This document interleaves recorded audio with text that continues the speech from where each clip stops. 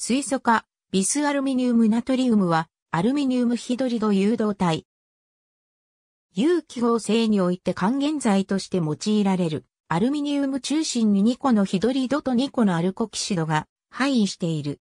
水素化ビスアルミニウムナトリウム自身は無色の固体だが水との反応性が高いため、通常はトルエンなど芳香属炭化水素の溶液の形で取り扱われる。別名 Vitride、Red-Al、Synhydrid と呼ばれる。レッド AL はシグマールドリッチ社の登録商標である。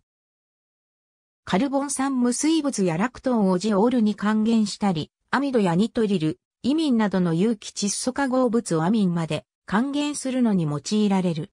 水素化、リチウムアルミニウム、 LAH、LiAlH4と比べると、レッド AL は、芳香属溶媒への溶解性に優れる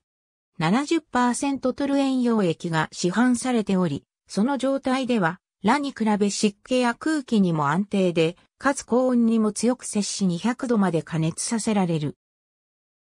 ABC グジェルチック、M シルバ、LF、スリーバスコンセローズ、RS クインタイリアーノ、SAP、ソデウムビセルマナムハイドライドイン、エンサイクロペディアオブリージェンツ、フォーオーガニックシンセシスジョン・ワイリーサンズ、007、ニューヨーク、ドイ、10.1002、0470848289、XRS049、パブニレッド AL シグマアルドリッチ。ありがとうございます。